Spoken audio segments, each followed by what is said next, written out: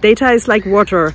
This metaphor was mentioned several times when we conducted the CDQ data strategy study this fall. And it served definitely as a source of inspiration for many data managers. I wish you Merry Christmas from the shores of Lake of Geneva. We are in close distance here to University of Lausanne's campus where the research team of the Competence Center Corporate Data Quality sits. As you may see, we are in close distance to lots of very clean and uh, fresh water. But we know that situation in companies may differ and that data managers have to deal with a lot of pollution and providing clean data or water uh, to the areas that desperately need it.